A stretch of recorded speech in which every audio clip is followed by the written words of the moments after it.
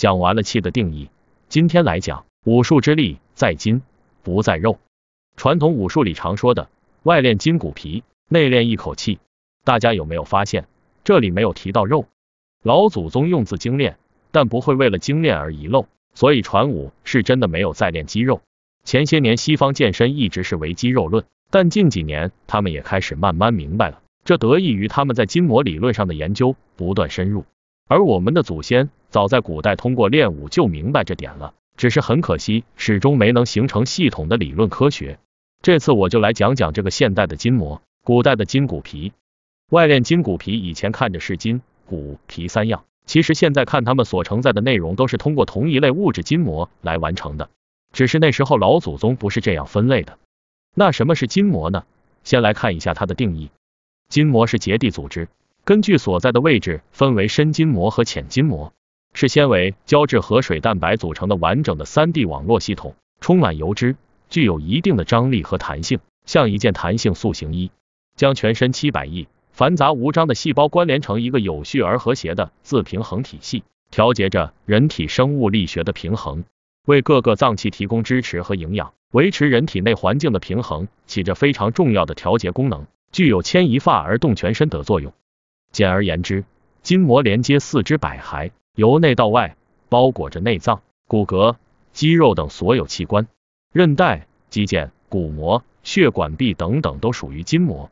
如果你切过猪肉，就会看到肉之间会有些白色的薄膜状结缔组织，这就是最常见的筋膜。它遍布全身，形成一张庞大的网。中医上所讲的经络穴位都在这张网里，我们最神秘、最重要的气就运行在这里。而不是运行于其他器官，比如肌肉、内脏里。而敛气入骨指的是让能量更多的进入骨筋膜中。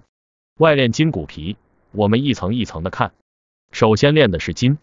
这个筋现在被定义为肌筋膜，有十二条肌筋膜链，是力量的传输通道。肌肉的收缩力通过筋膜传递到骨骼上，从而为四肢的活动输送力量。而抻筋拔骨是通过拉扯筋膜达到弓弦迸发的弹抖劲。当你搞不清力为什么是螺旋缠绕、左右对拉、上下相合的时候，都可以从肌筋膜链上找到答案。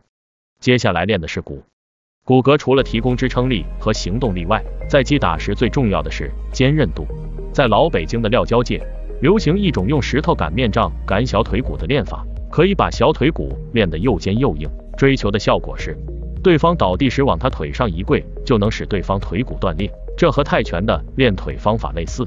原理就是让腿骨的骨膜不停的微创出现皲裂纹，愈合再裂，层层叠加，最终使腿骨异常坚韧。而骨膜就是骨筋膜，是包裹骨骼的筋膜，受创后的不断的自我修复增厚，使更多的能量气进入骨筋膜中，是敛气入骨的外练方式。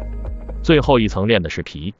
抻筋拔骨是基本功，钢筋铁骨是下苦功。为什么练皮会放在最后呢？大家可能以为练皮就是要练什么金钟罩铁布衫的高功了，因为皮好像代表防御能力，其实不然。这个皮应该练的是听劲，传武中的听劲就是身体的感知能力，是真正唯快不破的反应速度，是一语不能加，蝇虫不能落，人不知我，我独知人的终极奥义。而皮肤的感知能力来自皮下的浅筋膜，这层筋膜直连神经中枢，是知觉的传输通道。以上三层就是一层深一层的传武练法，而习武者对筋膜的认知也不需要达到医学的深度，讲这个也只是帮大家理清思路，避免坠入误区而不自知。比如对肌肉的盲目追求，肌肉如果失去筋膜的包裹，将失去作用。过度发达的肌肉不光会抢占筋膜组织的养分，还会挤压筋膜的空间。满身大肌肉块的人，失去的不只是柔韧性，还有筋膜组织的弹性。而传武里的抻筋拔骨所要努力获得的正是这份弹性与韧劲。